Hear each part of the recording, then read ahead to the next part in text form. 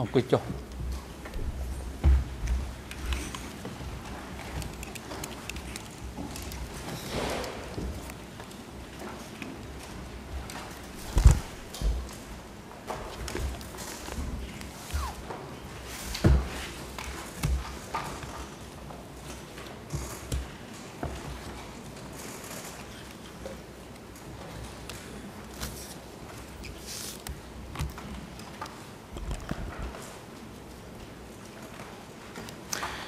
អង្គជំនុំជម្រះប្រកាសបន្តកិច្ចដំណើរការនីតិវិធីសមនការនៅក្នុងសប្តាហ៍នេះ តាមកាលវិភាគដែលបានកំណត់ សម្រាប់ធ្វើសមនការអង្គជំរះសាលាដំបងកំណត់ការបរិច្ឆេទសមនការស្ដាប់សក្ខីកម្មស័ក្តិសិទ្ធិដែលមានរហស្សនាម487និងក្នុងករណីមិនអាចធ្វើបានអង្គជំរះនឹងបន្ត ស្ដាប់សក្ខីកម្មស័ក្តិសិទ្ធិដែលមានរហស្សនាម488ហើយនឹងអាចបន្តនៅចុងសប្តាហ៍នេះនៅស័ក្តិសិទ្ធិបន្តបន្តទៀតដូចជា321ជាដើម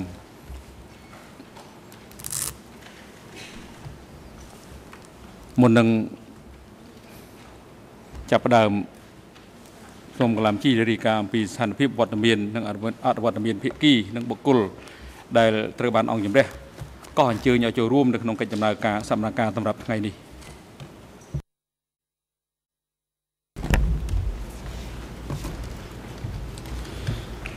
សូមជម្រាបលោកប្រធាន គ្រប់ភាគីទាំងអស់នៃរឿងក្តីនេះ មានវត្តមាន លើកលែងតែជនជាប់ចោតអៀងសេរី មានវត្តមាន នៅបន្ទប់ឃុំខ្លួន នៅ ខាងក្រោមសាសវនាការជនជាប់ចោតអៀងសេរី បានលះបង់សិទ្ធិ មានវត្តមានដោយផ្ទាល់នៅចំពោះមុខអង្គជំនុំជម្រះសាកសីដែលត្រូវមកផ្ដល់សក្ខីកម្មថ្ងៃនេះ គឺសាកសី TCW 487សាកសីរូបនេះ មានវត្តមាន នៅបន្ទប់រងចាំរងចាំការកោះហៅពីអង្គជំនុំជម្រះសូមអរគុណលោកប្រធានអរគុណ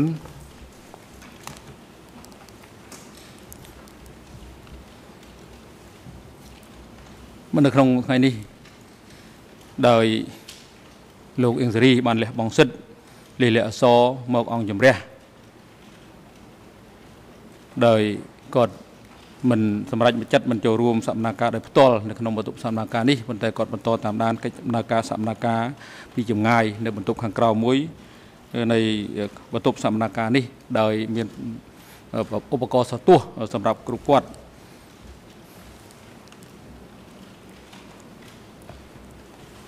ហើយមុននឹងកោះអញ្ជើញស័ក្តិសិទ្ធិចូលមកកាន់សមនាការអង្គជំរះសូមសម្រេចលើបញ្ហាឯកសារដែលមានអត្តសញ្ញាណ D366/7.1.188 លោកធានសូមអធិស្ឋានសូមលោកអានឯកសារឡើងវិញទៀតឯកសារ D 366/7 ចុច1ចុច188នៅក្នុងអំឡុងពេលសកម្មភាពកាលពីថ្ងៃទី23ខែឧសភា ឆ្នាំ2012អង្គជំនុំជម្រះសាលាដំបងបានស្នើសុំឲ្យតំណាងសហប្រញ្ញាធ្វើការបញ្ជាក់ទៅលើឯកសារ D 366ស្លាស់7.1.188 ដែលមានចំណងជើងថា លក្ខន្តិកៈសម្ព័ន្ធយុវជនកុម្មុយនីសកម្ពុជាព្រោះតំណាងសហប្រញ្ញា មានបំណងយោងទៅលើឯកសារនេះ នៅពេលតាំងសំណួរដេញដោលចំពោះសាក់សី TCW 487តាមការពិនិត្យមើលសំណុំរឿងដំបូងវាបង្ហាញថាឯកសារនេះមិនមាននៅក្នុងបញ្ជីឯកសារដំបូង ដែលសហប្រញ្ញាបានដាក់ជូនអង្គជំរះនៅក្នុងខែមេសា ឆ្នាំ2011ឯកសារ E9/31 និងនៅខែកក្កដាឆ្នាំ2011ឯកសារ E109/4 នោះទេបន្ថែមលើការបញ្ជាក់របស់តំណាងសហប្រញ្ញា ដែលបានធ្វើក្នុងក្នុងអំឡុងពេលសមនការកាលពីថ្ងៃទី23ខែឧសភា ឆ្នាំ2012នោះឥឡូវនេះ អង្គជំនុំជម្រះសូមបញ្ជាក់ថាឯកសារនេះមាននៅក្នុងបញ្ជីឯកសារដំបូងទាំងពីររបស់សហប្រញ្ញាដោយឯកសារនេះមាននៅក្នុងឧបសម្ព័ន្ធទី2នៃឯកសារ E 109/4ដូច្នេះឯកសារនេះក៏ចាត់ទុកថាត្រូវបានវាយតម្លៃដោយអង្គជំរះផងដែរចំពោះភាពអាចទទួលយកបាននៃឯកសារដែលបានស្នើសុំដោយសហប្រញ្ញាដោយមានបញ្ជាក់នៅក្នុងសេចក្តីសម្រេច ឯកសារ E 185 ផ្អែកលើគោលការណ៍ដែលបានកំណត់នៅក្នុងសេចក្តីសម្រេចឯកសារ E 185 អង្គជំរះបានពិនិត្យឡើងវិញនៅឯកសារ D 366/7.1.188នេះដូច្នេះអង្គជំរះចាត់ទុកថាឯកសារនេះត្រូវបានដាក់នៅចំពោះមុខអង្គជ្រុងជំរះហេតុដូច្នេះឯកសារនេះនឹងត្រូវចាត់ថ្នាក់ ទៅជាប្រភេទឯកសារ E3 នៅពេលឆាប់ឆាប់ខាងមុខនេះតាមដែលអាចធ្វើទៅបានប៉ុន្តែនៅក្នុងពេលបច្ចុប្បន្នឯកសារនេះនឹងរក្សានៅលេខឯកសារ D 366/7.1.188ដដែលមន្ត្រីរដ្ឋបាលតុលាការអញ្ជើញសាក់សី TCW 487ចូលមកកាន់កន្លែងផ្ដោតតក្កកម្មនៅក្នុងបន្ទប់សកម្មភាពមើលនេះក៏បា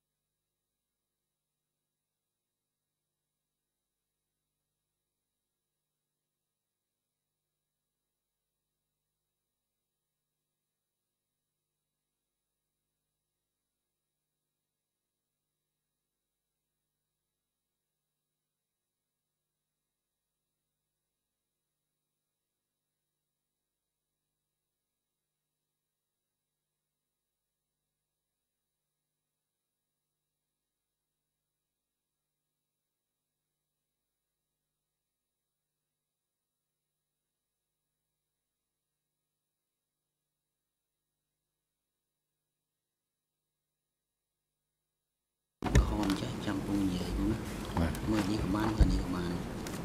អញ្ចឹងណាហើយពីនិយាយមួយមួយហើយច្បាស់ណា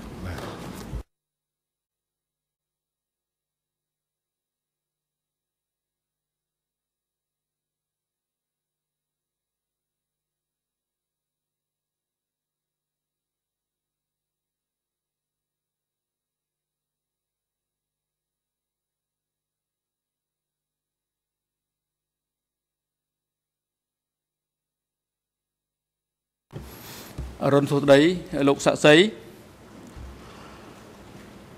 ហើយលោកសាក់សីមុននឹងដំណើរការសួរដេញដោលចំពោះលោកទី1អង្គជំរះសូមណែនាំលោកក្នុងការប្រើប្រាស់ក្បាលមីក្រូដើម្បីឆ្លើយតបទៅនឹងសំណួរផ្សេងផ្សេង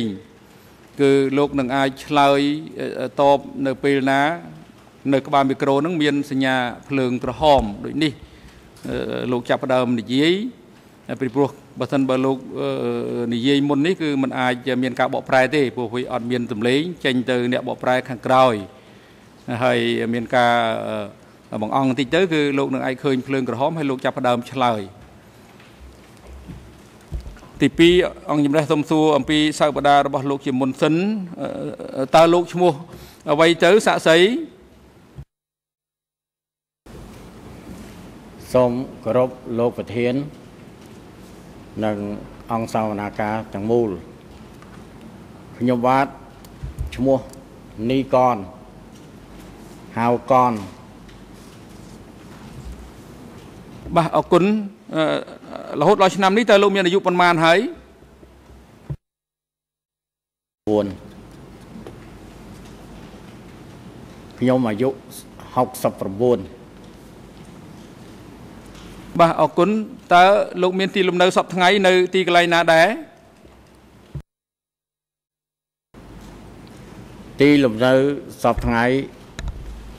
ខ្ញុំនៅស្រុកសំពៅលូនបាទអរគុណតើលោកប្រកបមុខរបររកស៊ីធ្វើអ្វីដែរខ្ញុំជាទីប្រឹក្សាក្រសួងការពារជាតិហើយបច្ចុប្បន្ន ចោះជួយការងារបកស្រុកសំពើលូនបាទអរគុណតើឪពុកបង្កើតរបស់លោកឈ្មោះអី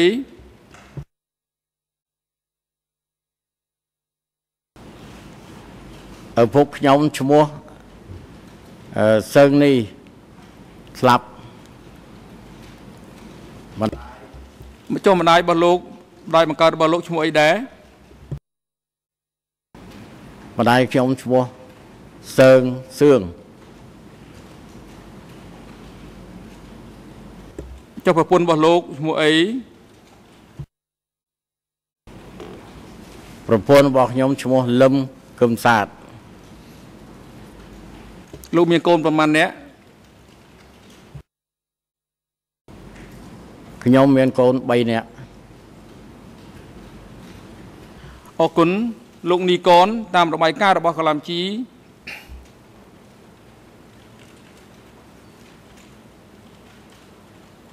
ថាលោកមិនមានជាប់ញាតហត់លោហិតឬញាតពន្ធជាមួយភិក្ខីនៅរឿងក្តីនេះទេទាំងដើមម្ដងរដ្ឋបាលនេះក៏ដូចជាជនចាប់ចោតទាំង3រូបអ្នកដែរតើមិនជនចាប់ចោតទាំង3រូបដែរតើពិតមែនដែរឬទេ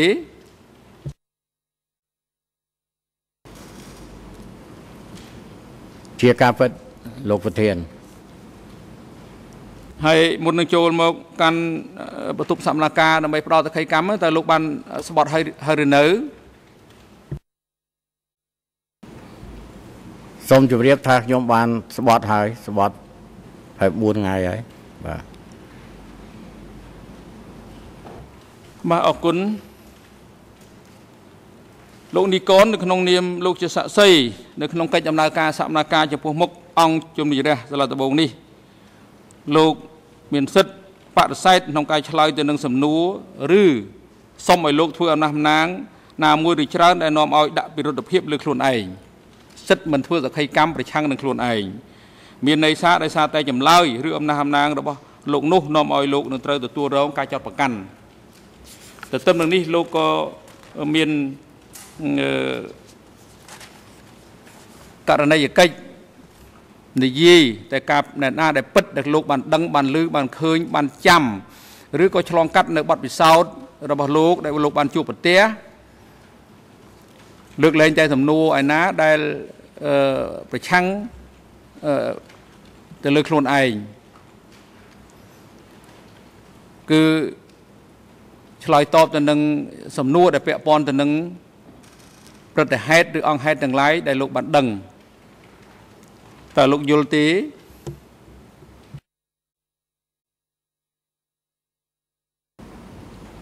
ជម្រាបលោកប្រធានខ្ញុំយល់បាទលើនេះអង្គជំរះក៏បានផ្ដល់មេធាវីប្រឹក្សាអឺលោកផងដែរអញ្ចឹងគឺលោកមេធាវីអឺលោកមានបទពិសោធន៍នៅក្នុងការចូលរួមនៅក្នុងកិច្ចដំណើរការសមនការអឺក្នុងការផ្ដល់ប្រឹក្សាយោបល់ ចំពោះសាក្សីដើម្បីបញ្ជាក្នុងការអឺឆ្លើយអឺដាក់វិរុទ្ធភាពលើខ្លួនឯងហើយហើយនេះជាសិទ្ធិបាទ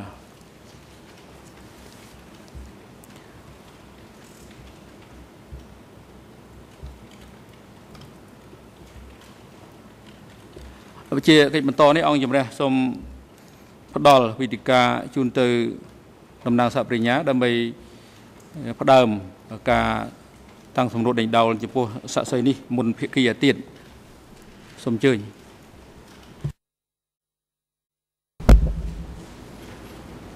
បាទខ្ញុំបាទសូមគោរពលោកប្រធានសូមគោរពលោកលោកស្រីចក្រមសូមគោរពលោកលោកស្រីទាំងអស់ដែលមានវត្តមាននៅក្នុងសវនកម្មនៅពេលនេះហើយក៏សូមគោរពបងប្អូនយុវជាតិទាំងអស់ដែលមានដែលកំពុងតាមដានកម្មវិធីសវនកម្មនៅខាងក្រៅបន្ទប់សវនកម្មនៅពេលនេះ សសួស្តីលោកនីកន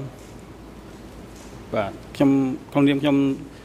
បណ្ដាសាប្រញ្ញាខ្ញុំសូមអនុញ្ញាតជំរាបសួរសំណួរមួយចំនួនតេតិននឹង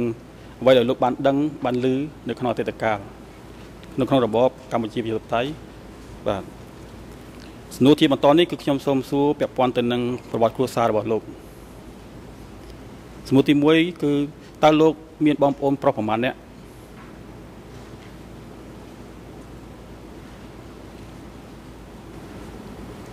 សូមជម្រាបជូន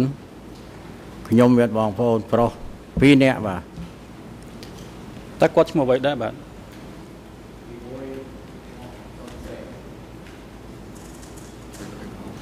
ទី1ឈ្មោះសុនសែនទី2ទី2ឈ្មោះសុនឈុំសូមអរគុណបាទ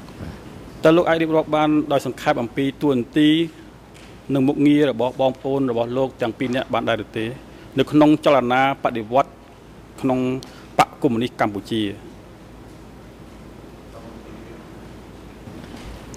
សូមជម្រាបជូនតួនាទីខ្ញុំមិនច្បាស់ទេបងទី1បងឈ្មោះសុនសែនខ្ញុំមិនច្បាស់ជាតួនាទីស្អីច្បាស់តែបងទី2ច្បាស់ថាបានធ្វើទូតនៅកូរ៉េមករយៈខ្លីបាទ ធ្វើទូតនៅកូរ៉េហ្នឹងគឺគាត់ធ្វើទូតនៅក្នុងឆ្នាំណាពីឆ្នាំណាដល់ឆ្នាំណាដែរបាទ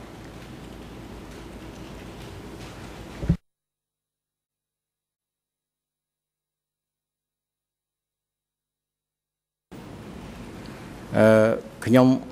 មិនបានចាំទេបាទគាត់តែដឹងថាចុងក្រោយបាទ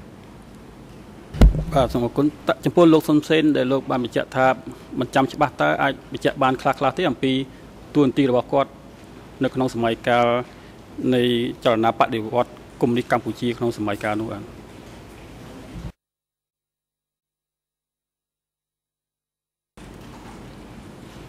សូមជម្រាបជូនខ្ញុំអឺខ្ញុំដឹងជារួមថាគាត់ធ្លាប់ដឹកនាំតបសម័យនោះបាទដឹកនាំតបនៅក្នុងតំបន់ណាដែរបាទ ក្នុងរយៈពេលប្រហែលដែរគាត់ដឹកនាំតបហ្នឹងបាទហើយនៅក្នុងតំបន់ណាដែរបាទ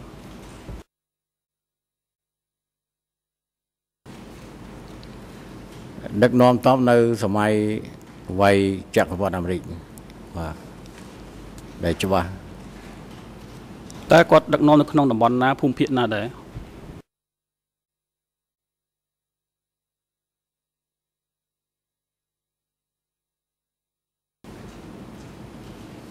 ឃើញអឺដឹកនាំរួមឃើញតែចាប់ចុះពីម្ដុំយើងស្ទឹងត្រែងឯងចុះមកក្រោមអញ្ចឹងមកបាទដឹកនាំ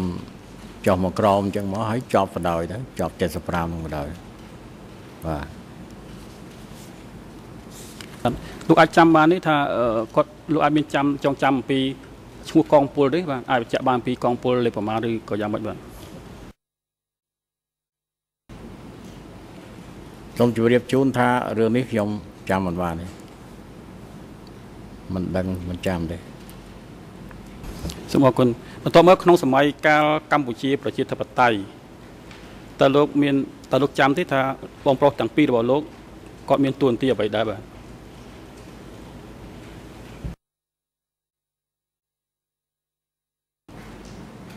ដូចខ្ញុំជម្រាបអមាញ់មិញគឺខ្ញុំដឹងតែរួមបាទ ថាចូលរួមដឹកនាំតបតែកម្រិតណាអីកម្រិតណាមិនដឹងទេសូមអរគុណខ្ញុំសូមបន្តទៅសំណួរតើតើនឹងបបិសោផ្ទាល់ខ្លួន របស់លោកផ្ទាល់ពីមុនឆ្នាំ75រហូតដល់ឆ្នាំ1975ចំណុចដែលខ្ញុំចង់ដឹងគឺតើតើនឹងការសិក្សាហើយនឹងអឺការងាររបស់លោក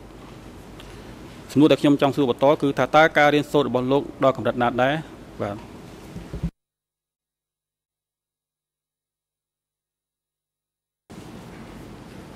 សូមជម្រាបជូនខ្ញុំរៀនបានត្រឹមថ្នាក់ឌីប្លូម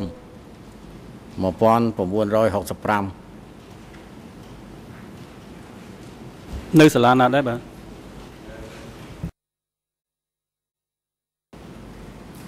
នៅវិទ្យាល័យស៊ីសវត្ត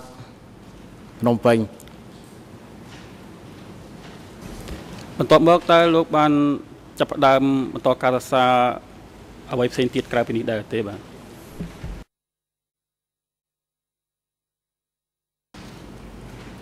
ខ្ញុំអត់បានរៀនអីទៀតទេខ្ញុំចេញទៅគ្រូបាទលោកធ្វើគ្រូនៅសាលាណាដែរបាទ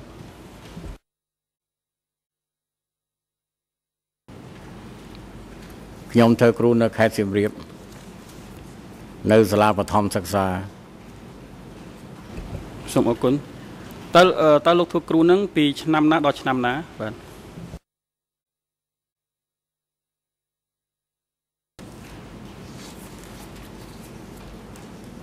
ខ្ញុំធ្វើគ្រូបានរយៈខ្លីទេពីព្រោះអឺចេញពីកន្លែងស្តាស់ទៅវាអស់មួយឆ្នាំហើយ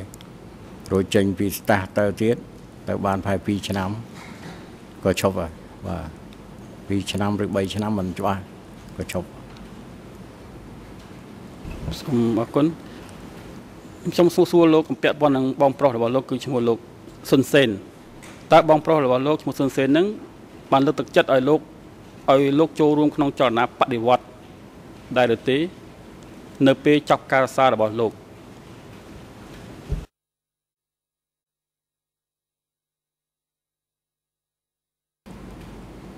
សូមជម្រាបជូនគឺធម្មតាគ្រួសារជាបងជាប្អូនហើយយល់ថាអ្វីដែលល្អក៏ចេះតែណែនាំតែណែនាំជារួមទេมันបានថាណែនាំឲ្យទៅទឹះនេះទឹះនោះអីទេ គ្រាន់តែអ្វីដែលល្អឲ្យធ្វើទៅបាទបាទតើគាត់មានបានណែនាំលោកឲ្យចូលទៅក្នុងចលនាបដិវត្តន៍ដែរឬទេនៅពេលនោះបាទ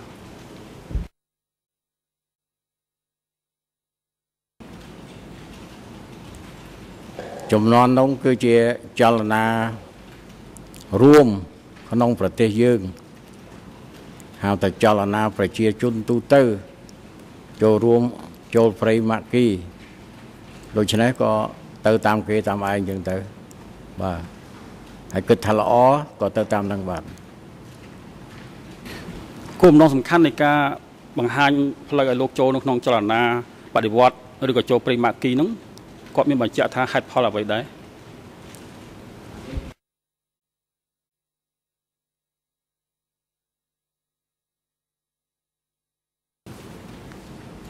ចំណន់នោះ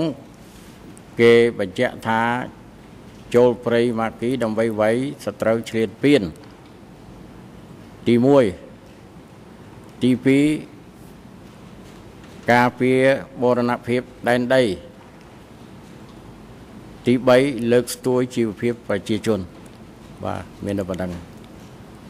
បាទសូមអរគុណលោកបានបញ្ជាក់មិញថាដើម្បីវាយសត្រូវឈ្លានពានតើសត្រូវឈ្លានពាននៅសម័យកាលនោះ ជានរណាសូមលោកបញ្ជាក់មកចំណុចនេះតិចបាទ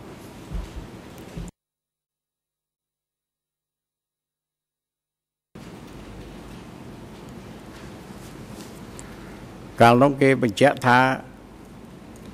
ជាអាមេរិកហើយនឹងរួមជាមួយលន់នល់បាទប៉ុណ្ណឹងបាទ តើលោកអាចបញ្ជាក់បាននេះហេតុនេះបានចាត់ទុកថាលន់នល់ហើយនៅអាមេរិកជាសត្រូវតើលោកស៊ុនសេបានបញ្ជាក់អំពីមូលហេតុនេះដែរឬទេជម្រាបលោកដែរឬទេក្នុងករណីនេះ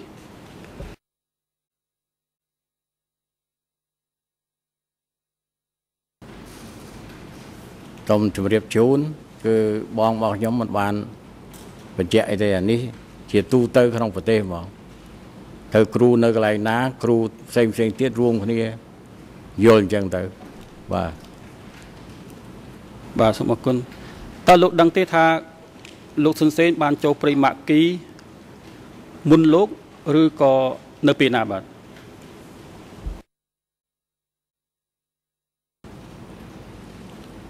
ខ្ញុំនិងបងខ្ញុំបែកគ្នាខ្ញុំនៅជនបទ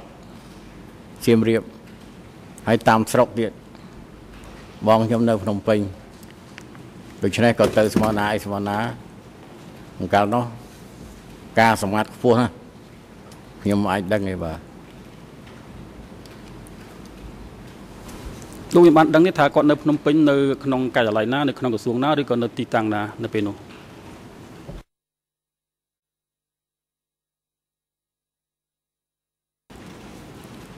សូមជម្រាបជូនខ្ញុំដឹងត្រួសត្រាសថាគាត់នៅអឺ គេហៅសប្ងៃមិនដឹងជាហៅស្អីពីមុនថានៅអឺកន្លែងសាលានេះនៅចិត្តវិមានឯករាជ្យបាទវិមានឯករាជ្យដូចជាសាលាបណ្ដោះបណ្ដាលសាស្ត្រាចារ្យក៏មិនដឹងបាទខ្ញុំចាំមិនអស់ដែរនៅម្ដុំហ្នឹងបាទបាទសូមអរគុណតើលោកបានចូលរួមជាមួយនឹងបដិវត្តន៍នៅពេលណាពិតប្រាកដដែរ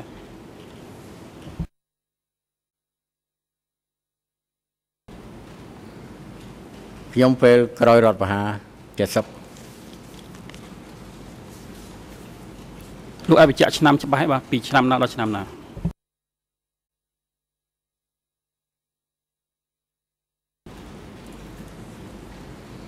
ខ្ញុំចាំមិនច្បាស់ទេគឺគ្រាន់តែថាដឹងតែក្រោយរដ្ឋប្រហារ70ហ្នឹងមកចុងឆ្នាំហ្នឹងក៏ចូលរួមមកហើយបន្តមករហូតដល់ដល់ចប់សង្គ្រាម បាទសូមអរគុណបន្ទាប់ពីបានចូលរួមជាមួយនឹងបដិវត្តន៍តើលោកជាផ្នែកមួយនៃរណសេរមែនឬទេ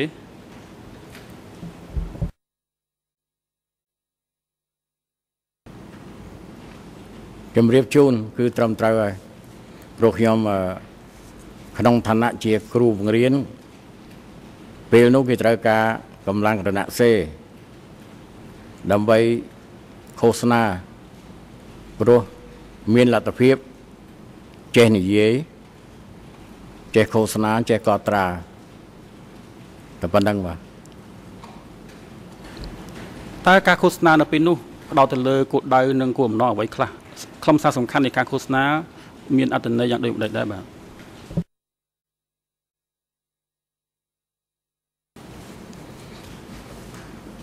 ខ្លឹមសារសំខាន់ពេលនោះ គឺទី1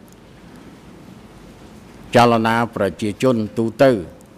ដែលនៅក្នុងតំបន់ខ្លួននៅឲ្យបង្កបង្កើនផលឧបត្ថម្ភខ្លួនដោយអនុវត្តហៅថានយោបាយឯករាជ្យម្ចាស់ការគឺឧបត្ថម្ភខ្លួនជាសំខាន់ហើយទី2រួមគ្នាទៅសមរភូមិមុខតែប៉ុណ្្នឹងសំខាន់បាទ សូមអរគុណតើរណសេរអ្វីដែលលោកបានបញ្ជាក់មិញមានន័យថាលោកចូលរួមជាផ្នែកមួយនៃរណសេរតើរណសេរនឹងមានន័យដូចម្តេច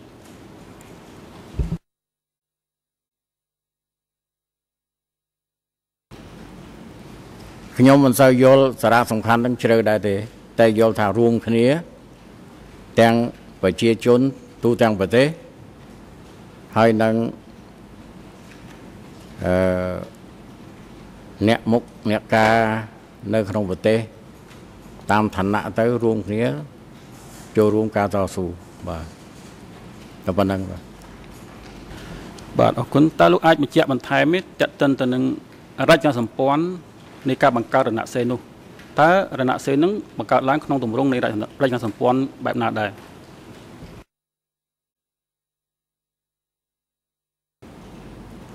សូមជម្រាបជូនគឺ សំណួររបស់លោកនេះវាលើសសមត្ថភាពខ្ញុំខ្ញុំយល់មិនដល់ទេពីព្រោះកិច្ចការអស់នោះអត់ដល់ទេយល់មិនដល់បាទសូមអរគុណខ្ញុំសូមបន្តទៅសំណួរផ្សេងមួយទៀតតើលោកបានខ្លាចជាសមាជិកសម្ព័ន្ធយុវជនបដិវត្តដែរឬទេ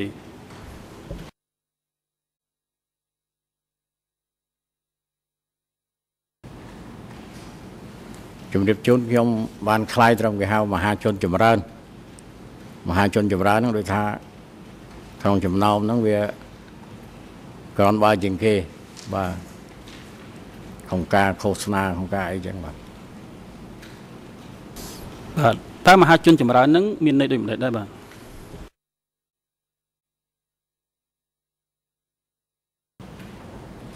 មានន័យដោយបានជំរាបមិញគឺថា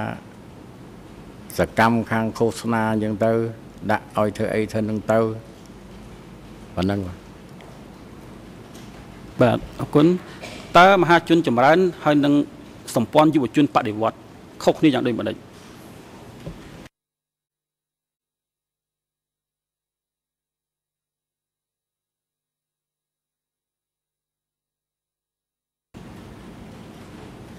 មហាជនចម្រើននោះគឺឋានៈក្រមបាទទៀបឋានៈទៀបលើប្រជាជនបន្តិចបាទ ចុះសម្ព័ន្ធយុវជនបដិវត្តវិញបាទ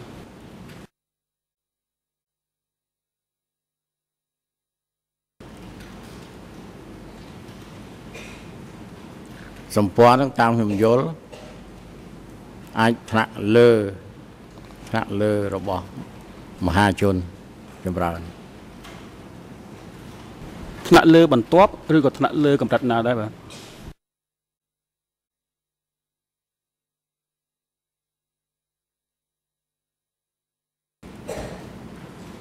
សូមជម្រាបគឺมันសូវច្បាស់ទេសូមអរគុណ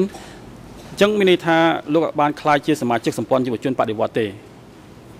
ឬក៏យ៉ាងម៉េច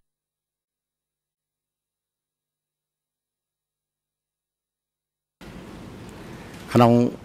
ពេលនោះអត់បានខ្លាយទៅទេបាទអរគុណតើលោកបានធ្លាប់បានក្លាយជាសមាជិកបកកុម្មុយនីសកម្ពុជាដែរឬទេ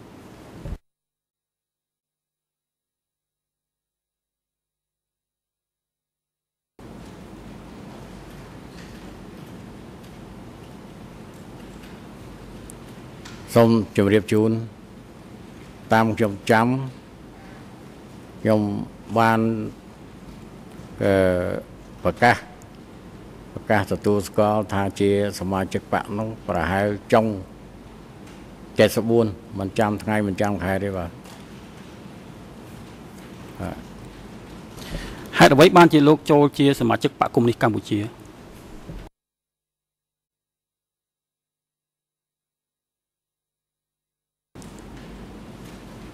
អាហ្នឹងមិនមែនខ្ញុំចង់ចូលទេគឺស្រេចតែ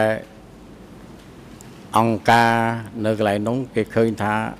យើងមានលក្ខណៈសម្បត្តិគេប្រកាសឲ្យអញ្ចឹងទៅយើងមិនអាចទៅសុំចូលឲ្យបានទេបាទអរគុណបាទតើលក្ខណៈសម្បត្តិដែលត្រូវបំពេញដើម្បីឲ្យក្លាយជាសមាជិកបកកុម្មុយនីសកម្ពុជា ក្នុងសម័យកាលនោះមានលក្ខណៈសម្បត្តិយ៉ាងដូចម្តេចខ្លះបាទ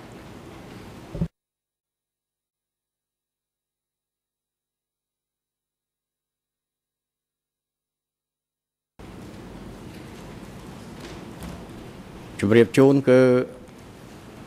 សូមជម្រាបជាបឋមថាខ្ញុំក៏ចាំមិនអស់ដែរតែខ្ញុំចាំគោលគោលគឺដូចខ្ញុំជម្រាបមិញការងារល្អសិលធម៌ល្អដោយប្រៀបធៀបនេះជាសំខាន់ហើយស្មោះត្រង់នឹងការងារឲ្យធ្វើការងារអីធ្វើការងារហ្នឹងបាទក្រៅពីហ្នឹងមិនចាំបាទអរគុណ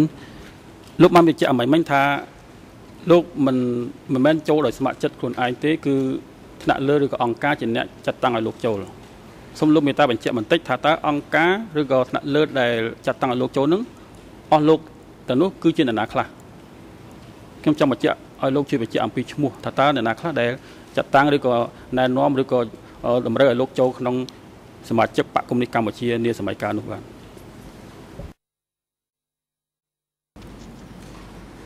សូមជម្រាបជូនគឺកន្លែងមួយមួយគឺមានសាខាគេមិនមែនអង្គការលើអីទេ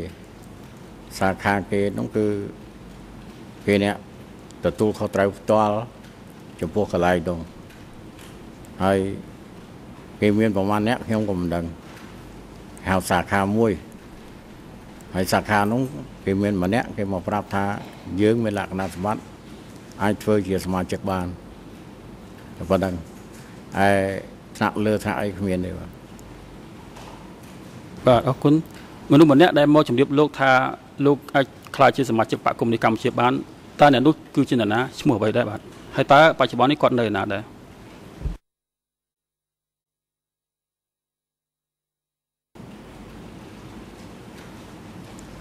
អ្នកដែលមកនាំខ្ញុំនឹងគ្រូបង្រៀនដែរហើយអ្នកឃោសនាដូចគ្នាដែរ គាត់ឈ្មោះសេងតែគាត់ស្លាប់បាត់ហើយបាទគាត់អ្នកស្រុកធ្វើគ្រូបង្រៀននៅសៀមរាបដូចខ្ញុំដែរបាទបាទអរគុណសាខាមួយដែលលោកបានបញ្ជាក់មិញតើសាខានោះឈ្មោះអ្វីដែរហើយស្ថិតនៅទីតាំងណាដែរបាទ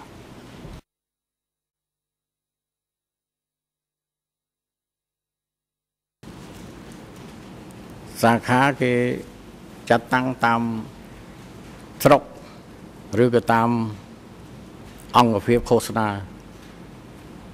ដូច្នេះបើនៅ អង្គភាពឃោសនាខាងទូទៅដូចខ្ញុំអញ្ចឹងមកនៅម្ដុំអឺឧបមាថាខ្ញុំនៅចល័តម្ដុំសៀមរាបអញ្ចឹងតាខាងគេនៅម្ដុំជីក្រែងសៀមរាបអញ្ចឹងទៅហើយគេនៅតំណឹងហើយគេក៏ចល័តដែរមិននៅដដែលទេបាទពេលនោះ បាទអរគុណខ្ញុំសូមសួរបន្តទៅទៀតមុនពេល គេទទួលយករូបលោកចូលទៅក្នុងចលនាបដិវត្តតើលោកត្រូវចូលរួមរៀនសូត្រវគ្គនយោបាយឬក៏វគ្គបំពាក់អំព័ន្ធគោលនយោបាយដែរឬទេ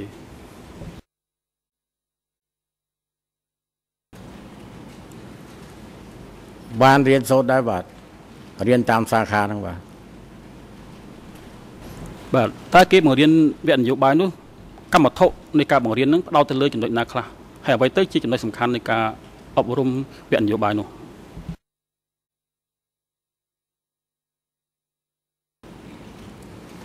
ចំណុចសំខាន់ដូចជាជម្រាបដដែលគេមិនអាចយកឯកសារទាំងដុលមកអប់រំខ្ញុំទេគេដកស្រង់ឲ្យសមស្របនឹងសមត្ថភាពខ្ញុំហើយនឹងការងាររបស់ខ្ញុំដោយជម្រាបមិញគឺ ចលនាប្រជាជនទូទៅបង្កើនផលឧបត្ថម្ភខ្លួន ទី2ឃោសនាប្រមូលកម្លាំងទៅសមរភូមិនេះសំខាន់ហើយក្រៅពីហ្នឹងវាជាបដំប្រសងទេខ្លឹមសារសំខាន់មានពីរនេះសំខាន់បាទអរគុណតើគេបង្រៀនលោកនៅកន្លែងណាដែរហើយគេបង្រៀនលោកប្រមាណដងហើយការបង្រៀនហ្នឹង អ្នកណាជាអ្នកបង្រៀនលោកបាទ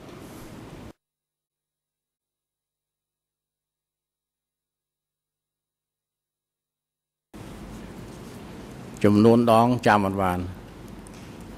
អ្នកបង្រៀនគឺឈ្មោះសេងមិនហ្នឹងហើយបាទសេងគ្រូបង្រៀនមិញហ្នឹងបាទបាទគេបង្រៀនលោកនៅកន្លែងណាដែរបាទ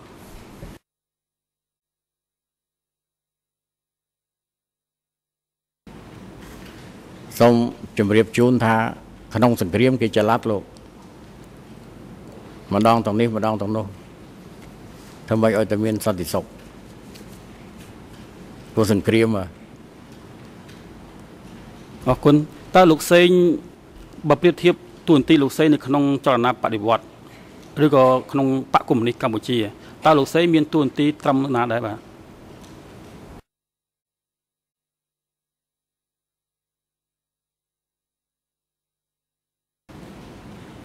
ខ្ញុំមិនច្បាស់ដែរតាមមើលដឹកទៅថាប្រធានសាខាប្រធានសាខាប្រចាំកន្លែងនោះបាទតើលោកអាចបញ្ជាក់បានទេហេតុអីបានគេចាត់តាំងលោកសេងឲ្យមកបង្រៀនលោកតេតិននឹងវគ្គបំពាក់អំព័ន្ធគោលនយោបាយបកកុម្មុយនីសកម្ពុជា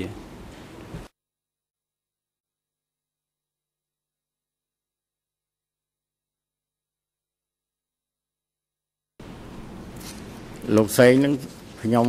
មិនយល់ជ្រៅទេប៉ុន្តែតាមខ្ញុំយល់ដោយត្រួសត្រាសគឺថាជាកម្មវិបាលរបស់ខាងលើ ខាងលើកម្រិតណាក៏មិនដឹងទៀតព្រោះវាច្រើនជាន់ច្រើនថ្នាក់ហើយឲ្យទទួលខុសត្រូវកន្លែងនោះបាទបាទអរគុណ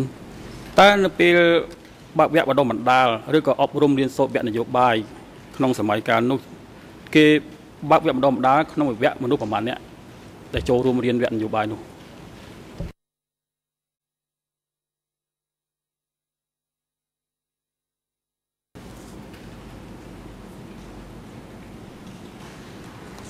កាលនោះគេរៀនចង្អៀតណាគេមិនអាចរៀនច្រើនទេយ៉ាងច្រើន3នាក់ទៅ5នាក់បាទហើយគេមិនហ៊ានចំហមិនហ៊ានយូរទេ ពីព្រោះខ្លាចរឿងសន្តិសុខបាទលោកអាចបញ្ជាក់បន្ថែមទេថាគេរៀនចំនួនតិច3ទៅ5នាក់ចង្អៀតពាក់ព័ន្ធនឹងបញ្ហាបារម្ភរឿងសន្តិសុខតើរឿងបារម្ភរឿងសន្តិសុខនឹងក្នុងន័យអ្វីសន្តិសុខយ៉ាងដូចម្ដេចពាក់ព័ន្ធនឹងសន្តិសុខនឹងបារម្ភរឿងអីចំណុចសំខាន់បាទ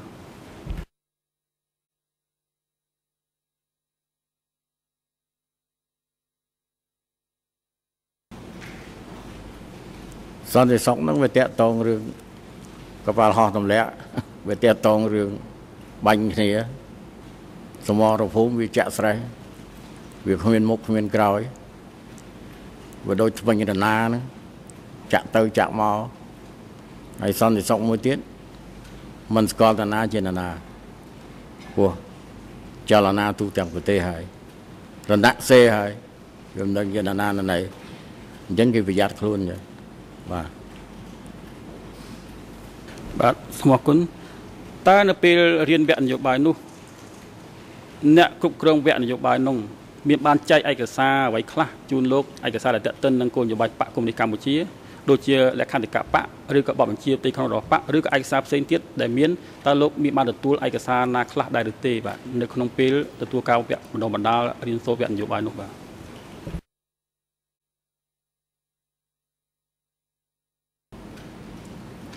កាលនោះគ្មានទេមានតែកត់ត្រួសត្រាសហើយឯកសារក៏តាមខ្ញុំដឹងដូចគ្មានបោះពុំបោះអីផងដូច្នេះនិយាយទៅមាត់កត់នរណាកត់បានកត់នរណាកត់មិនបានក៏ចងចងចាំទៅបាទបាទអរគុណលោកមានធ្លាប់ឮគេនិយាយពាក្យថាទុងបដិវត្តដែរឬទេបាទ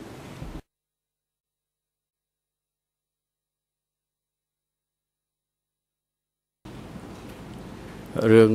តងបរិវត្តនឹងក្រោយទេលោកចិត្តដល់ពេលសង្គ្រាមកងទ័ពវៀតណាមវាយចូលមកទេដូច្នេះខ្ញុំ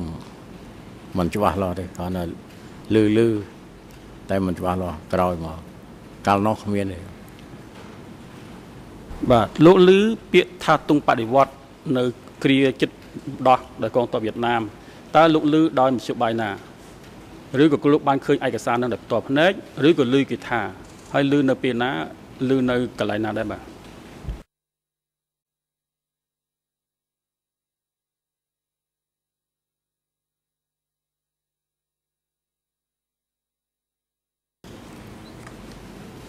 អ្នកដែល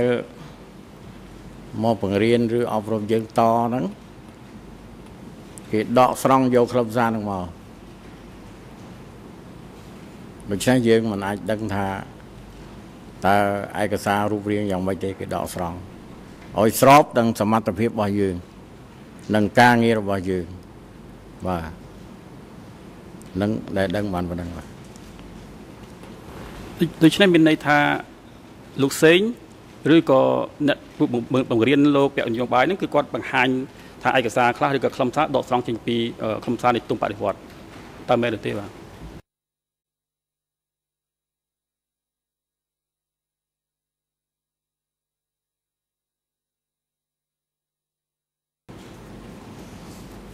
អត់បានបង្ហាញទេគេកត់ត្រាយកមកដូចជាភៅយ៉ាងបាទតើលោកសេងមានបានបញ្យលលោកពាក់ព័ន្ធនឹងទុំឯកសារទុំបដិវត្តដែរឬទេ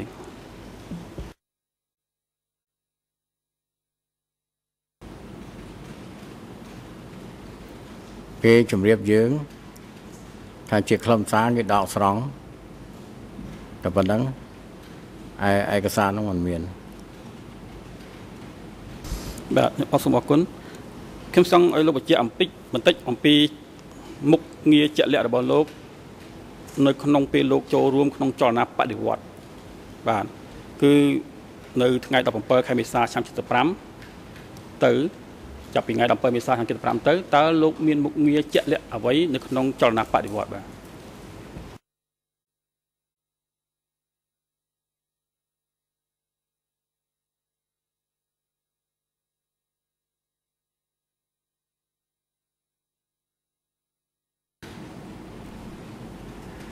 សូមជម្រាបជូនមុខងារមូលដ្ឋានរបស់ខ្ញុំដដែលគឺនៅតែខាងឃោសនាអប់រំ ដោយផ្អែកលើមូលដ្ឋានខ្ញុំចេះអក្សរចេះលេខចេះនិយាយអីចឹងដដែលរួចហើយអឺតួនាទីនេះចេះតែមករហូតមកដល់75មកបាទ ទៅចុងក្រោយ បានខ្ញុំត្រូវដកចេញពីមូលដ្ឋានមកនៅក្រសួងការបរទេសដកមកនេះយកមកដាក់ក្នុងប្រអប់មួយហៅថាវិធីការតែក្រុមពួកអីខ្ញុំមិនច្បាស់លាស់ទេដាក់ឲ្យឲ្យខ្ញុំជូនភ្ញៀវកម្រិតទាប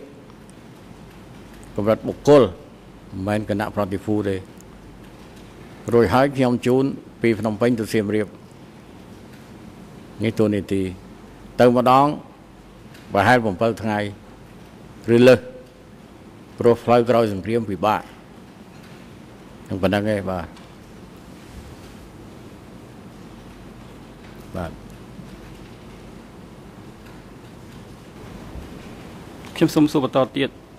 ហេតុអ្វីបានជាគេដកលោកពី ក្នុងនាមជាអ្នកឃោសនានៅតាមតំបន់តាមខេត្តមកធ្វើជាអឺអ្នកការធ្វើការងារនៅក្នុងក្រសួងការពារជាតិតើមានគោលបំណងអ្វីសំខាន់បាទ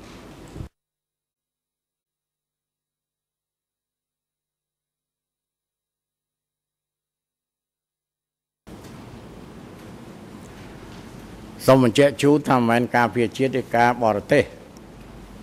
បាទហើយហេតុផលតដែល គឺថាខ្ញុំចែកអក្សរចែកអីចឹងយកមកខាងនេះស្រួលជាងនៅខាងនោះអើស្របជាងតែទី2ជ្រៅជ្រះជាងនឹងទៀតខ្ញុំមិនអាចដឹងពីព្រោះវិន័យវិន័យវាខ្ពស់លក្ខការសម្ងាត់វាខ្ពស់រួចម្នាក់ម្នាក់មិនអាចសួរនាំទេឲ្យតែខាងលើថាទៅណាទៅហ្នឹងហើយបាទអរគុណបាទតើ លោកបានធ្វើជាអ្នកឃោសនាជាមួយនឹងប្រជាជននៅតាមភូមិនៅតំបន់ណាខ្លះដែរហើយនៅខេត្តសៀមរាបតើលោកមានធ្លាប់ធ្វើទេកាលសម័យនោះ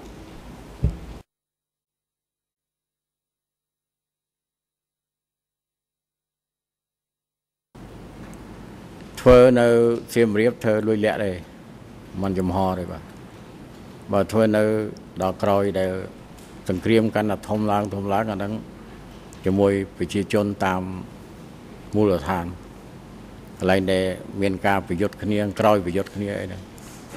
ឃោសនាទៅភូមិដែលមិនតាន់បានរំដោះបាទប៉ុណ្ណឹងបាទនៅខេត្តសៀមរាបតើលោកប្រើពេលអស់ប្រមាណថ្ងៃខែឆ្នាំក្នុងនាមជាអ្នកឃោសនាជាមួយប្រជាជនបាទ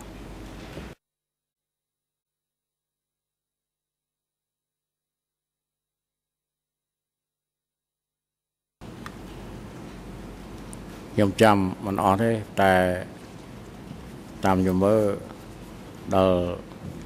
74សង្គ្រាមផ្ទុះខ្លាំងបានខ្ញុំចុះមកខាងខាងនេះវិញមកខាងចិត្តភ្នំពេញវិញបាទហើយថ្ងៃខែពិតប្រកបមិនច្បាស់ទេបាទ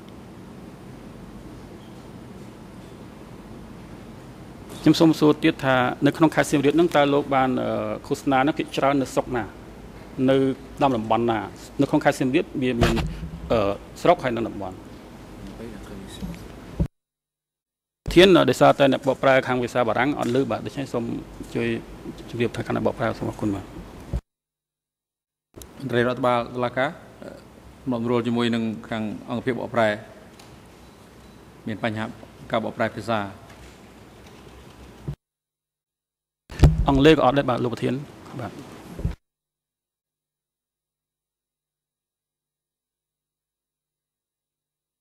បាទអាចចាប់ផ្ដើមបន្តដំណើរតែបញ្ញាជាតិសូមអរគុណលោកប្រធានខ្ញុំសូមអនុញ្ញាតបន្តសួរសំណួរទៅលោកសាក់សីជាបន្តទៀតបាទលោកសាក់សីសូមមេត្តាឆ្លើយសំណួររបស់ខ្ញុំអំបញ្ញមិញថាតើលោកបានធ្វើជាអ្នកឃោសនាជាមួយប្រជាជននៅខេត្តសៀមរាបខ្ញុំចង់ដឹងច្បាស់ថាភាគច្រើននៅក្នុងស្រុកណា ភូមិឃុំស្រុកណាភាគច្រើនដែលលោកបានចុះទៅឃោសនាជាញឹកញាប់ហើយនៅពេលនោះក៏លោកប្រើប្រាស់ពេលប្រហែលជាប្រមាណបាទសូមអរគុណបាទ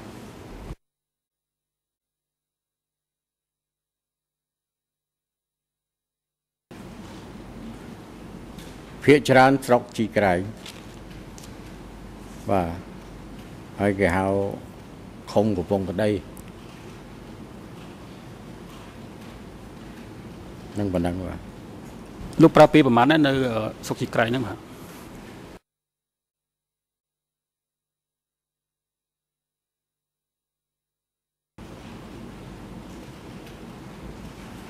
ហើយជាជាងមួយឆ្នាំដែរបាទបាទអរគុណហេតុអីបានជាលោកជ្រើសរើសយកគោលដៅសុកជីក្រែងធ្វើជាមូលដ្ឋានញឹកញាប់នៅក្នុងការឃោសនាជាមួយប្រជាពលរដ្ឋ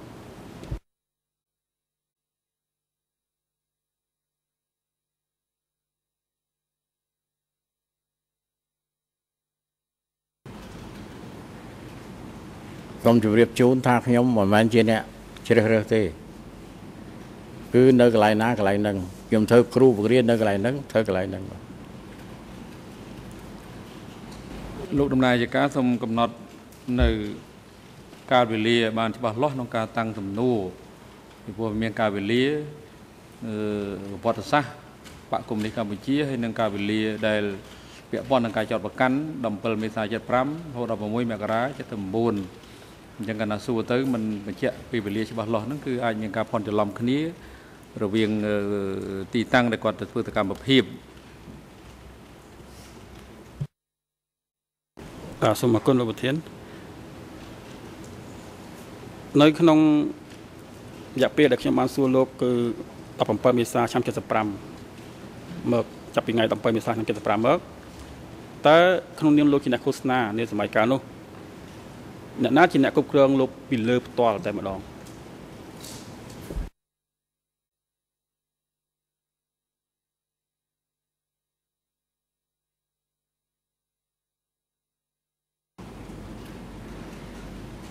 សូមជម្រាបជូនអឺខ្ញុំឃោសនាពេលនោះគឺដោយបានជម្រាបថា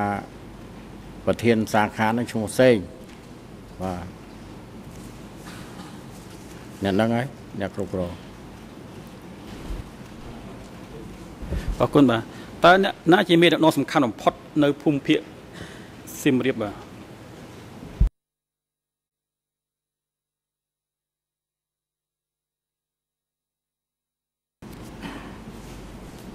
អត់ស្គាល់ទេបាទបាទសូមអរគុណ តើពេលណាទៅទើបកងកម្លាំងបដិវត្តរំដោះបានតំបន់ជុំវិញទីប្រជុំជនខេត្តសៀមរាប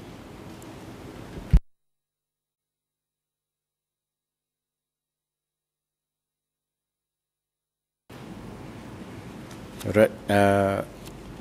រយៈពេលវាយូរពេកហើយជាង30ឆ្នាំហើយហើយខ្ញុំក៏មិនមែននៅខាងក្នុងឋានៈជាមេតប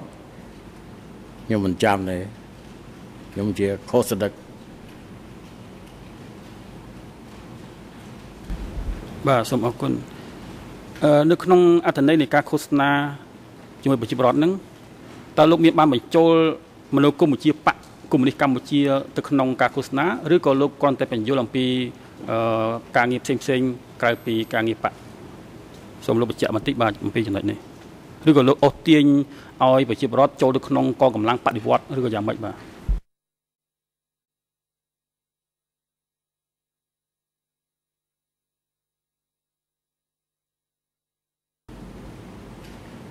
ពេលនោះគេអត់បានយកឈ្មោះបកអីទេគេយកតែឈ្មោះអង្គការទេដូច្នេះគេភ្ជាប់ខ្លឹមសារទៅតាមឈ្មោះតាមពាក្យថាអង្គការបាទអត់មានឈ្មោះបកទេអង្គការនោះមានន័យប៉ុណ្ណឹងនៃបដិវត្តឬនៃយ៉ាងម៉េចមិនដឹងប្រើតែពាក្យអង្គការអង្គការទូទៅបងបាទ តើអង្គការមានសន្យាអ្វីខ្លះជាមួយនឹងប្រជាជននេះនៅពេលដែលឃោសនាអញ្ចឹងតើសន្យាថានៅពេលដែលអង្គការបានសម្រេចគោលដៅរបស់អង្គការតើមានសន្យាមួយប្រជាជនថានឹងធ្វើអ្វីខ្លះឬក៏ជួយប្រជាពលរដ្ឋតាមរូបភាពអ្វីខ្លះនៅពេលដែលអង្គការបានសម្រេចគោលដៅរបស់ខ្លួននៅពេលអនាគតនោះនៅពេលដែលលោកឃោសនាជាក់ស្ដែងនោះបាទ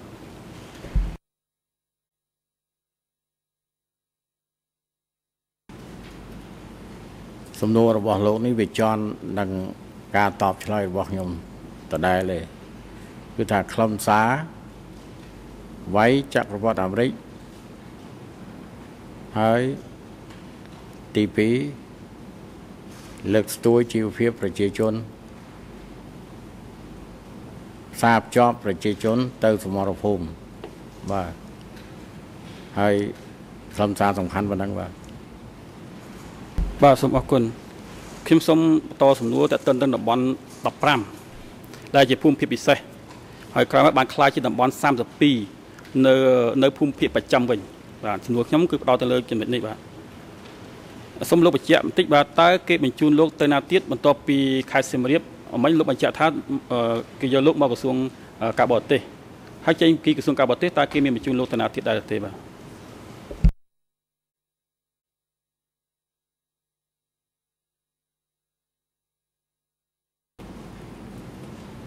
សូមជម្រាបជូន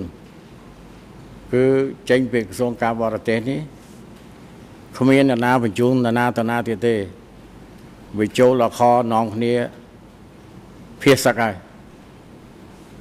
អ្នកណាភៀសទៅមុនបាន ទៅច្រកណាទៅតាមលទ្ធភាពហើយភៀសសឹកនឹងទៅលិចទៅព្រំដែនថៃបាទ ស់ហើយបាទបាទសូមអរគុណលោកនិកនសូមសូមឲ្យលោកមេត្តាបញ្ជាក់បន្ថែមបន្តិចងាកទៅក្រោយបន្តិចតើតិនទៅនឹងបញ្ហានៃការដែលលោកធ្វើការនៅខេត្តសៀមរាបបន្ទាប់មកគេបញ្ជូនទៅណាផ្សេងក្រៅពីអឺធ្វើការនៅសៀមរាបហ្នឹងមុននឹងទៅក្រសួងការបរទេសដែរទេតើមានបញ្ជូនលោកទៅធ្វើការនៅកន្លែងណាផ្សេងមុននឹងបញ្ជូនទៅការបរទេសដែរទេបាទ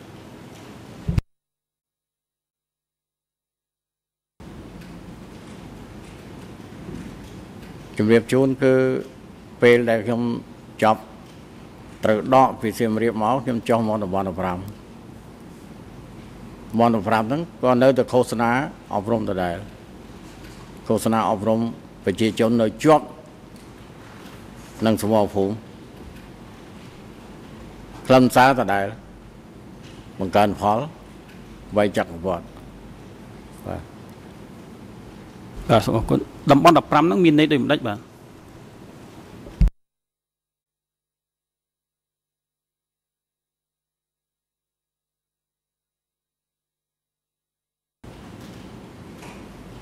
លេខហ្នឹងជាលេខអង្គការដាក់តែអង្គការថ្នាក់ណាអីថ្នាក់ណាមិនដឹងជាលេខសម្ងាត់គេអញ្ចឹងហៅថា15បាទនៃបីទៀតអត់យល់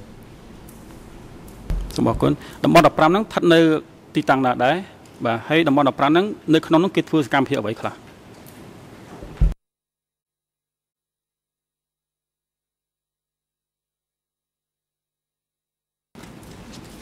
តំបន់15តាមខ្ញុំចាំ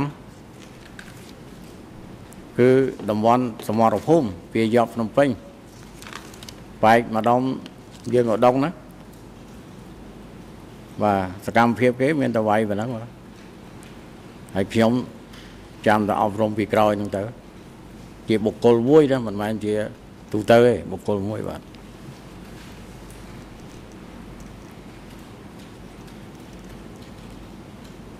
បាទអឺតើលោកមកដល់ភូមិភាគពិសេសអឺនៅពេលណាដែរភូមិភាគពិសេសដែលលោកបានបញ្ជាក់អំបញ្ញមិញហ្នឹងតើលោកមកដល់នៅពេលណាដែរបាទតាមខ្ញុំចាំมันមិនសូវជាច្បាស់ទេប្រហែលចុង74អរគុណតើលោកនៅកន្លែងណានៅពេលនោះ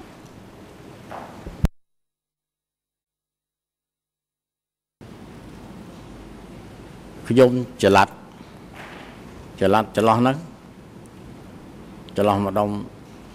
ដែលហៅឧដុងហ្នឹងម្ដងនេះម្ដងនោះទៅតាមដបោកបាទហេតុអ្វីបានជាលោកចល័តម្ដងទៅកន្លែងនេះម្ដងទៅកន្លែងនោះតើមានហេតុផលអ្វីខ្លះទៅបាទ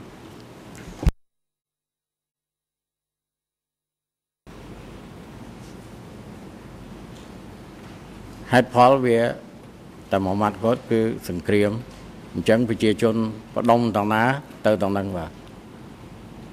ព្រោះប្រជាជនក៏ភៀសសឹកដែរណាបាទភៀសពីនេះ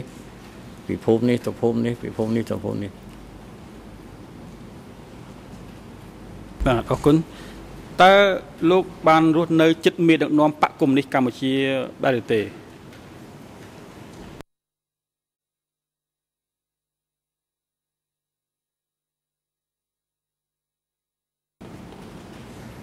ដោយបានជម្រាបដដែលដែរ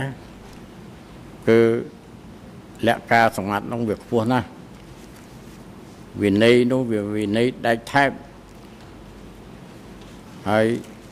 ខ្ញុំបានជម្រាបអមាញ់មិញខ្ញុំទទួលបន្តដូច្នេះมันអាចបានទៅចិត្តអីទេបាទបើសិនជាប្រៀបធៀបអំពីកម្រិតថ្នាក់តើលោក ស្ថិតនៅក្នុងកម្រិតថ្នាក់ទីប្រមាណឧមាថាលោករាប់ពី1ដល់10តើលោកអាចស្ថិតនៅក្នុងកម្រិតថ្នាក់ទីប្រមាណអឺធ្លាប់ធ្វើកិច្ចការឬក៏ដំណើរជាមួយនឹងមេដឹកនាំបកគុណីកម្ពុជាហ្នឹងលោកអាចបញ្ជាក់អំពីកម្រិតថ្នាក់ពី1ទៅ10តើនៅក្នុងកម្រិតថ្នាក់ទីប្រមាណជាឧទាហរណ៍បាទជា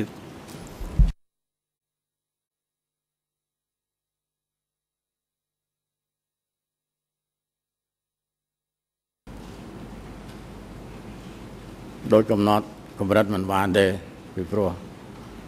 គេហៅឋានៈរណសេរបាទណរសរណសេរនោះមានន័យទលទលំទលាយបាទទលាយជាជាកម្លាំងទលាយបាទដែលពេលដែលឃោសនាហ្នឹងហើយដល់ក្រោយមកវាកម្រិតហ្នឹងខ្ញុំមិនអាចកំណត់បានដែរមិនដឹងជាកម្រិតប្រហែលព្រោះព្រោះទី1ប្រហែលទី2ប្រហែលវាមិនច្បាស់បាទបាទសូមអរគុណខ្ញុំសូមបន្តសំណួរទៀត មុនពេលរំដោះភ្នំពេញមានការច្បុកច្បល់ចលនានៅតាមសម្បល់ភូមិតាមតំបន់ផ្សេងផ្សេងៗតើលោកនៅពេលដែលលោកស្ថិតនៅក្នុងតំបន់នីមួយៗហ្នឹងលោកឃើញសកម្មភាពមានមានសកម្មភាពជួញច្បល់អ្វីខ្លះជាពិសេសតំបន់ភូមិភាគ15ដែលបានខ្លាយជាតំបន់32ហ្នឹងតើលោកឃើញសកម្មភាពការរស់នៅរបស់ប្រជាពលរដ្ឋហ្នឹងស្ថិតក្នុងស្ថានភាពបែបណា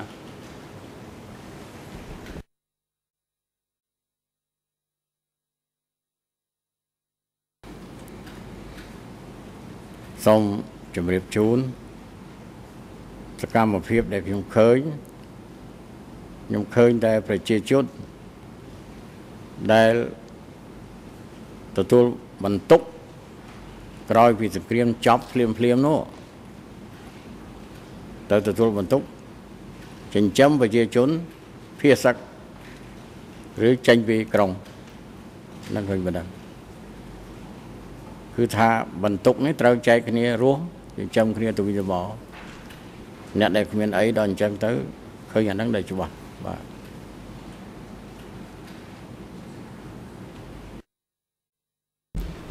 បាទខ្ញុំសូមចូលសំណួរទៅទៅតេតិនតំបន់15អឺមុនខែមីនាឆ្នាំ1974លោកបានបញ្ជាក់មិញថាលោកបានចូលរួមក្នុងគុំភាពពិសេសតំបន់15មុនខែមីនាឆ្នាំ1974អញ្ចឹងខ្ញុំសូមបញ្ជាក់សំណួរដូចតទៅនេះសូមលោកមេត្តាឆ្លើយតើលោកដឹងទេថាពេលណាទៅ ទីប្រជុំជនឧដុង្គត្រូវបានដណ្ដើមពីកងកម្លាំងលន់ណុល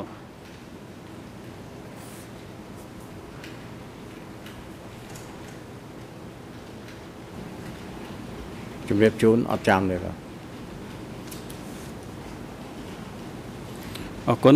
តើលោកនៅតំបន់នោះដែរឬទេ ឬក៏ ទីនោះមានការរំដោះនៅពេលណាដែរ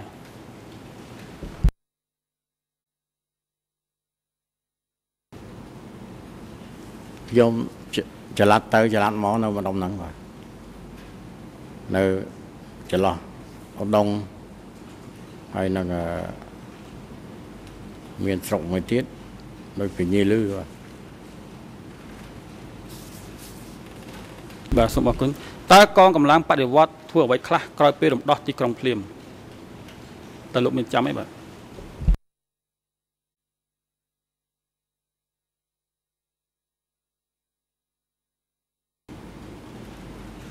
ខ្ញុំចាំបានច្បាស់ត្រង់កងទ័ពមករួមជាមួយប្រជាជនធ្វើស្រែចំការលើកទំនប់បាទបាទអឺ សូមលោកបញ្ជាក់ឡើងនឹងតិចថាថ្នាក់ណាសម្រាប់ឲ្យកងទ័ពចូលរួមមួយប្រជាជនដើម្បីលើកទំនប់តើមានបញ្ជាពីឬក៏ការណែនាំពីថ្នាក់ណាដែរហេតុផលឯបានគេឲ្យធ្វើដូច្នេះបាទ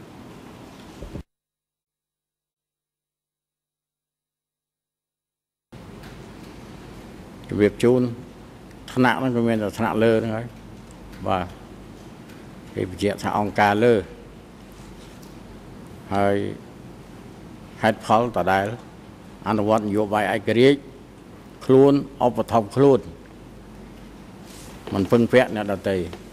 បាទបាទអរគុណតើប្រជាជនឧដុង្គត្រូវបានគេជំនះចេញដែរឬទេបាទ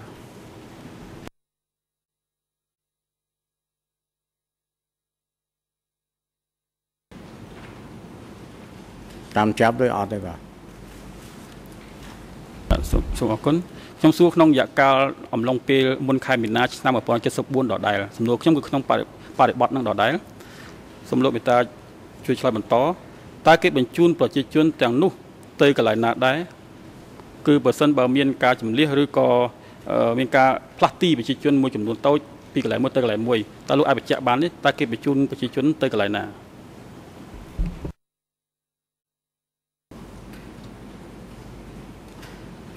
ខ្ញុំ ចាំត្រួសត្រាសគឺគេបញ្ជូនទៅតាមស្រុកទេសរបស់ប្រជាជនទៅតាមស្រុកភូមិរបស់ប្រជាជនតែប៉ុណ្ណឹងបាទហើយមកខទៀតទៅតាមការជ្រើសរើសរបស់ប្រជាជន មានសាច់មានឈាមនៅឯណាគេទៅនៅបាទសូមអរគុណ តើមានមូលហេតុអ្វី សម្រាប់ជាផុសតាងបញ្យលប្រជាជនឲ្យយល់អំពីការជំលះនេះឲ្យប្រជាជនយល់ថាការជំលះគាត់គឺមូលហេតុអីតើលោកអាចបញ្ជាក់បានទេបាទ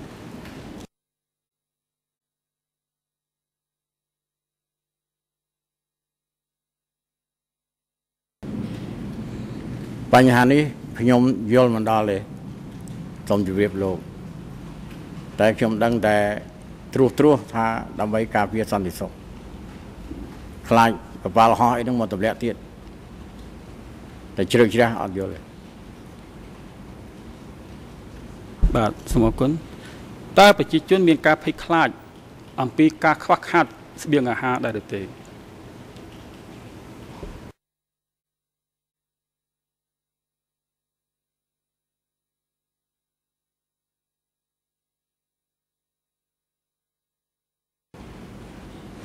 ធម្មតាភ័យឯព្រោះបញ្ហាក្រពះតែអ្នកដែលហៅថានៅកន្លែងចាស់នោះខ្ញុំឃើញខិតខំដែរខិតខំយកមកចែករំលែកគ្នាដែរតែតាមមើលមិនគ្រប់ទេព្រោះវាជុកតែហៅថាវាជុញមកហើយបាទបាទក៏ អរគុណការចែករំលែកស្បៀងអាហាររវាងប្រជាជនទៅប្រជាជនហ្នឹងតើមានការណែនាំឬក៏មានការបង្ខិតបង្ខំឬក៏ដោយស្ម័គ្រចិត្តរបស់ប្រជាពលរដ្ឋដោយផ្ទាល់បាទ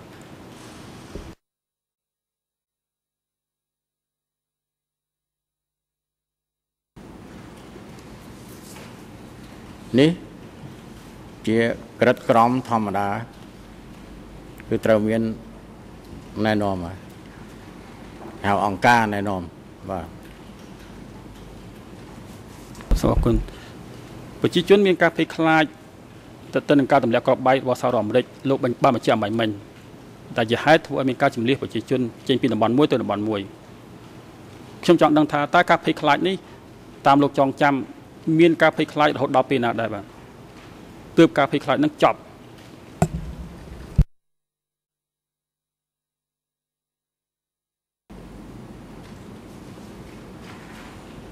ការ ភ័យខ្លាចហ្នឹងតាមជំនឿ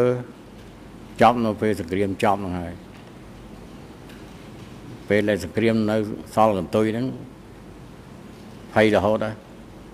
ផ្ទះណាក៏មានត្រង់សេដែរបាទបាទសូមអរគុណតើលោកមាន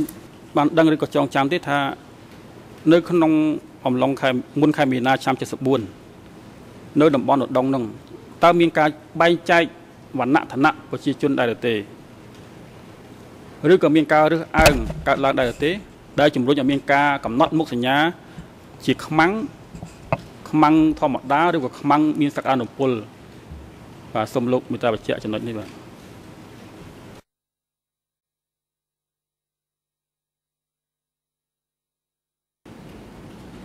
ខ្ញុំអ្នកទទួលឃោសនាអប់រំដោយមិនបាន ទទួលការលំអិតអញ្ចឹងទេបានទទួលដូចខ្ញុំបានជម្រាបដដែលបាទព្រោះខ្ញុំស្ថិតនៅក្នុងអឺអ្នកឃោសនាអប់រំហើយក៏មានខដែលធ្វើឲ្យឲ្យចងក្រងសាមគ្គីគ្នាដែរគ្រប់ពេលវេលាហ្នឹងដែលខ្ញុំនិយាយថាអឺផ្នែករួមសំហ្នឹងខ្ញុំបានជម្រាបអស់ហ្នឹងណាក៏បាននិយាយថា គ្រប់រួមគ្នាចងក្រងសាមគ្គីគ្នា បានអីចែកគ្នាហូប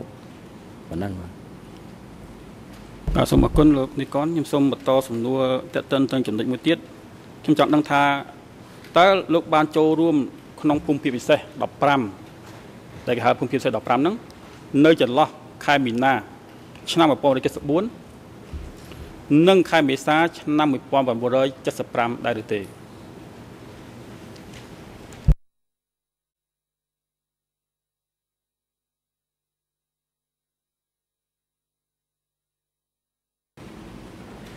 ខ្ញុំបានទៅនឹងក្រោយទេពីព្រោះតម្រំគេរៀបចំតំបន់15នឹងចប់បានបានទៅ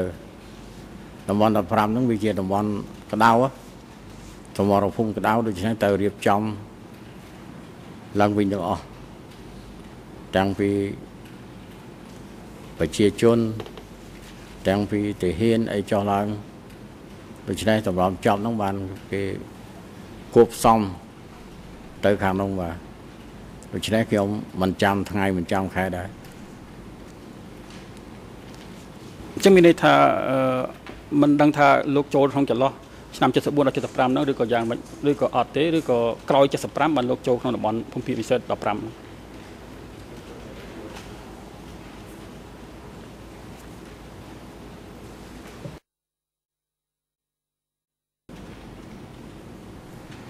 ខ្ញុំមកចុង74បាទហើយចុះមកពេលហ្នឹងនៅប្រយុទ្ធគ្នាឡើយទេរួចហើយបានចប់ចប់ហើយបានរៀបចំ បានខ្ញុំបានចូលរួមចន្លោះចុង74 75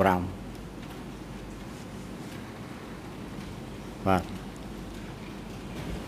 បាទសូមអរគុណតើតំបន់ពិសេស15ក្រោយមកត្រូវបានគេបញ្រួមបញ្ចូលឲ្យទៅក្នុងភូមិភាគដោយឡែកណាមួយដែរឬទេ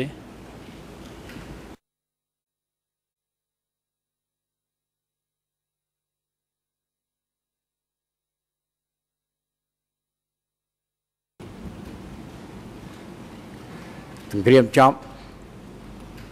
បានគេបញ្ចូលតំបន់15ពីដើមហៅថានៅក្នុងភូមិភាគពិសេសទៅជានៅក្នុងតំបន់32បាទហើយតំបន់32នេះតាមខ្ញុំចាំគឺនៅក្រោមភូមិភាគបច្ចឹមបាទបាទអរគុណ លោកអាចបញ្ជាក់បានទេថាការដាក់បញ្ចូលតំបន់15នេះទៅក្នុងភូមិភាគពិសេសនោះបានកើតឡើងនៅក្នុងឆ្នាំណាពិតប្រាកដ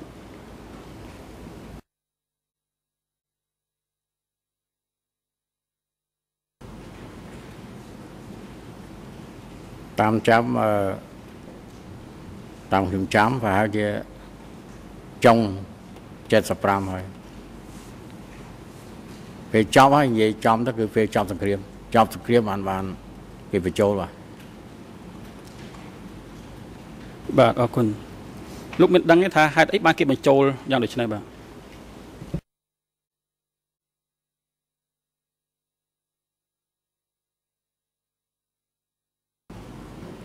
ខ្ញុំយល់មិនដល់ដែរតែតាមមើលតាក់តងរឿងគ្រប់គ្រងការសង្គ្រាមគេបំបែកឲ្យល្អិតដល់ចប់សង្គ្រាមគេប្រមូលឲ្យស្រួលគ្រប់គ្រង តាមខ្ញុំយល់ណាបាទបាទសូមអរគុណ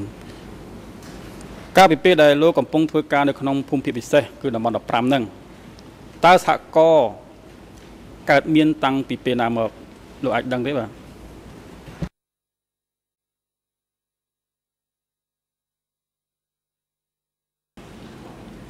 នៅក្នុងតំបន់15ពេលនោះมันមានសហគមន៍ទេ មានក្រមបង្កើនផលក្រមបង្កបង្កើនផលបាទក្នុងពេលសង្គ្រាមអត់មានទេ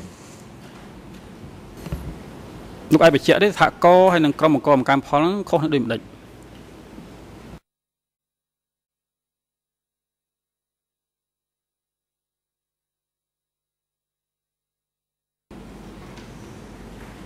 ខ្ញុំ បញ្ជាក់ជូនបាន តាមការយល់របស់ខ្ញុំតែត្រូវមិនត្រូវមិនដឹងដែរពីព្រោះខ្ញុំយល់បានប៉ុណ្ណាវិជាជម្រាបជូនប៉ុណ្ណឹងបង្កើនផលហ្នឹងវាលក្ខណៈទៀបណាស់ហៅគ្នាហៅគ្នាប្រម៉ែប្រមូលគ្នា ទៅបង្កើនផលហើយចែកផលគ្នាប៉ុណ្ណឹងបាទ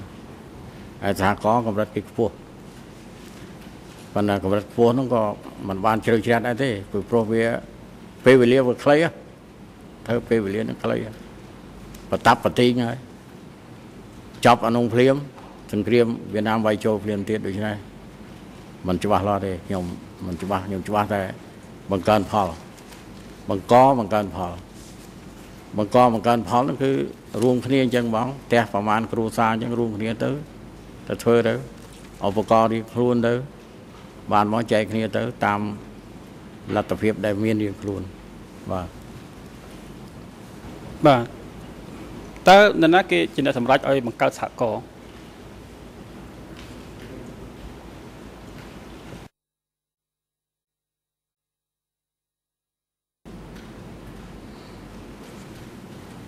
ដោយខ្ញុំជម្រាបលោកដដែល គឺខាងលើបាទឬគេហៅថាអង្គការខាងលើបាទ តែការបង្កើតសហគមន៍នឹងក្នុងអំណងអ្វីដែរបាទលោកនិកនបាទ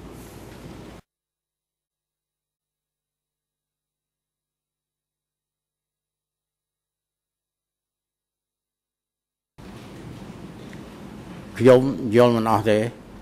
តែខ្ញុំយល់ថាក្នុងការអនុវត្តនយោបាយដែលខ្ញុំជម្រាបខាងដើមដដែលតាមខ្ញុំតាមខ្ញុំយល់គឺឧបត្ថម្ភខ្លួនហើយ នយោបាយឯករាជ្យម្ចាស់ការគឺมันពឹងបរទេសនៃអញ្ចឹងនេះខ្ញុំយល់ប៉ុន្តែជ្រៅទៅទៀតមិនដឹងដែរបាទបាទអរសូមអរគុណនៅសម័យឆ្នាំ1975ចាប់ពីឆ្នាំ1975មកតើលោកមានបានឃើញទស្សនវិជ្ជាមានវត្តអារាម ត្រូវបានគេចាត់ទុកឬក៏ប្រើប្រាស់ជាទីកន្លែងសម្រាប់សក្ការៈបូជាដែរឬទេ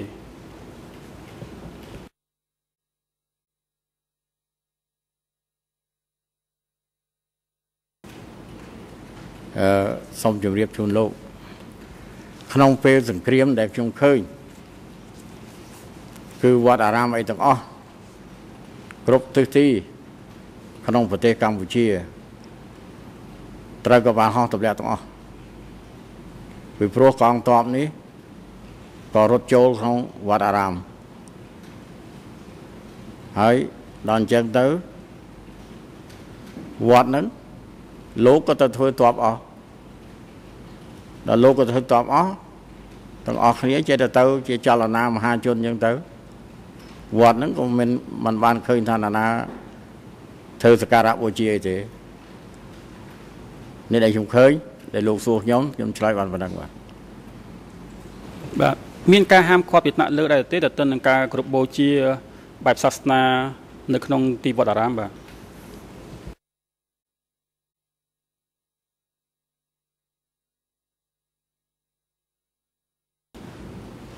ចំពោះខ្លួនខ្ញុំដូចមិន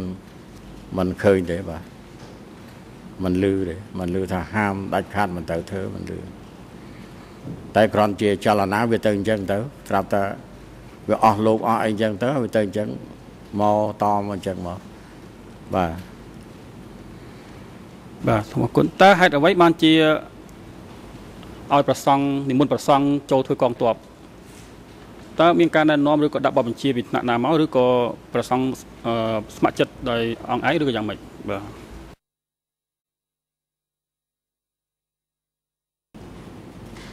កាលនោះវាជាចលនាដូចខ្ញុំបានជម្រាបរហូតដល់ចម្រៀងកូនប្រុសដើមទ្រូង5ហាត់បើមិនទៅសវរភូមិមុខទេមិនឆ្លាញ់ឯងទេហើយបានស្បែកជើងកង់ឡានបើបានកម្មាបងកវិមោទនភាព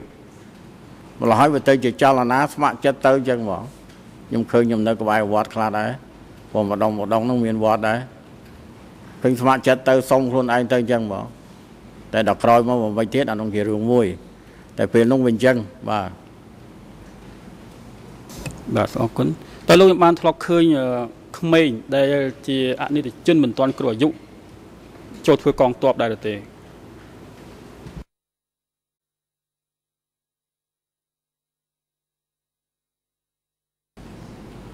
ចម្លើយខ្ញុំជន់គ្នាដូចខ្ញុំបានជម្រាប គេហៅចលនាមហាជន គឺមហាជនប្រុសស្រីក្មេងចាស់ទៅទាំងអស់គ្នាហ្មងទៅជាមោទនភាពថាទៅអញ្ចឹងវាកិត្តិយសដូច្នេះទៅទៅជួយស្វាយអីស្វាយអីចឹងទៅបាទនេះខ្ញុំឆ្លើយបានប៉ុណ្ណឹងបាទបាទសូមអរគុណតើអ្នកណាដែលជាអ្នកទទួលខុសត្រូវលើភូមិភាគប្រចាំបាទ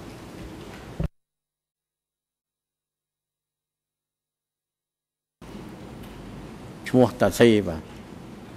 តាស៊ីបាទតាស៊ីគាត់មានអឺមុខងារឬក៏តួនាទីអ្វីដែរនៅក្នុងពេលនោះបាទនៅតំបន់នោះបាទ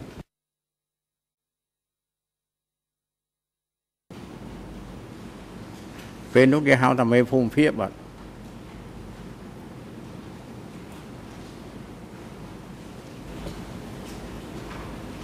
តើលោកអាចបញ្ជាក់បានទេតើនរណាខ្លះជាតិជាសមាជិករបស់គណៈដឹកនាំភូមិភាគនេះ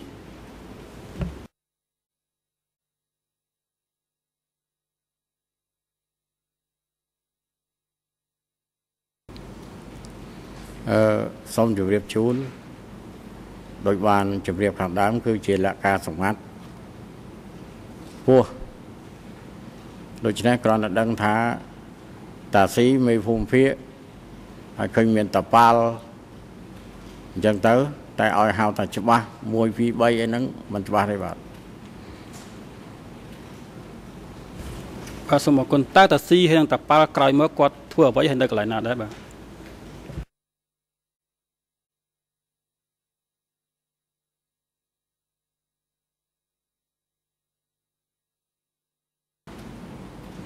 តប៉ាល់គាត់ភៀសសឹកដែរ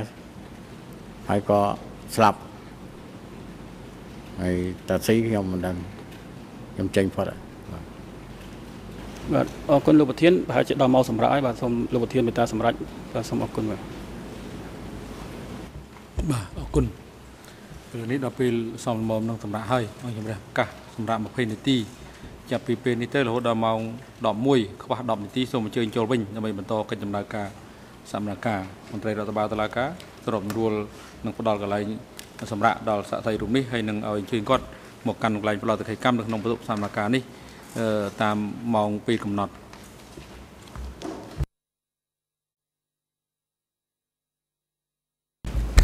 សូមគោរពឈរ